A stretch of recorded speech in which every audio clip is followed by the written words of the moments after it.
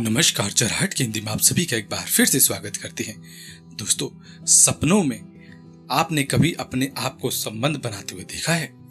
यह महिला हो या पुरुष, दोनों ही के ऊपर निर्भर करता है कि आपने सपनों में कभी अपने आप को किसी के साथ संबंध बनाते हुए देखा है तो इसका आखिर भविष्य में होने वाले क्या मतलब होते हैं? आइए हम आपको बताते हैं विस्तार से। उससे पहले, यदि आपने वीडियो को लाइक नहीं किया तो वीडियो को लाइक ज़रूर कर दे, दोस्तों के साथ शेयर कर दे। यदि आपने चैनल को सब्सक्राइब नहीं किया है तो चैनल को सब्सक्राइब कर बेल आइकन ज़रूर दबा दें, ताकि आपके पास इसी प्रकार की ज्योतिष और आध्यात्मिक वीडियोस आती रहे। दोस्तों अगर आपके सपने में कोई खूबसूरत औरत या लड़की या परियाँ या नग्न अवस्था में कोई स्त्री आपको सपनों में नज़र आती है तो सावधान हो जाएँ, क्योंकि सपनों में स्त्री का आना आपके लिए बहुत कुछ इशारा करता है। वही सपनों में कई बार हम स्त्री को अजीब गरीब रूप में और नग्न अवस्था में भी देखते हैं। स्वप्न शास्त्र के अनुसार सपनों में स्त्री देखना हिंदू धर्म शास्त्रों के अनुसार इसके शुभ और अशुभ दोनों ही फल होते हैं। आइए जान लेते हैं सपनों में स्त्री देखने का आखिर क्या मतलब होता है। सपने हमें आते हैं कभी कभी बुरे सपने आते हैं, कभी अच्छे सपने भी आते हैं और हर सपने का कुछ न कुछ मतलब या भविष्य होने वाले कुछ संकेत होते हैं।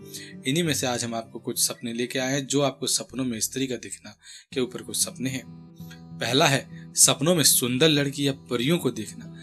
व्यक्ति को धन संबंधी सुख सुविधा और लाभ की ओर संकेत करता है। सपनों में परी का आना कहीं से शुभ समाचार या सुख और धन की प्राप्ति के योग बताता है।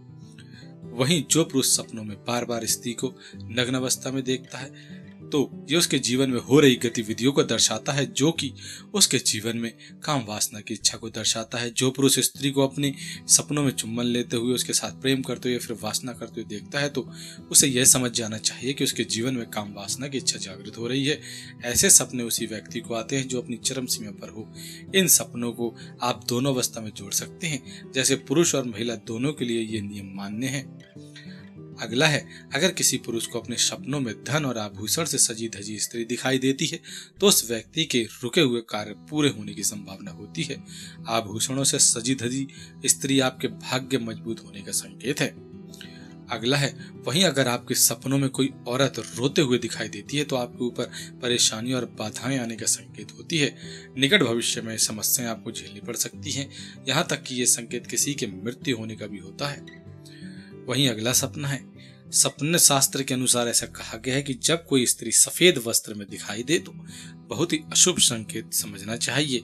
यह संकेत इस बात की ओर इशारा करता है कि कहीं किसी व्यक्ति की मृत्यु होने वाली है और वहीं जब कोई मृत व्यक्ति आपके सपनों में आकर कुछ आपको दे जाए तो यह भी किसी की मृत्यु होने के संकेत या उसकी अधूरी इच्छा की ओर दर्शाता है, जो कि पूरी नहीं हुई है। तो दोस्तों, हमें उम्मीद है कि आज की वीडियो को काफ़ी पसंद आई होगी। वीडियो पसंद आई हो तो वीडियो को लाइक ज़रूर कर दे, दोस्तों के साथ शेयर कर दे। यदि आपने चैनल को सब्सक्राइब नहीं किया तो चैनल को सब्सक्राइब कर बेल आइकन ज़रूर दबा दे। धन्यवाद।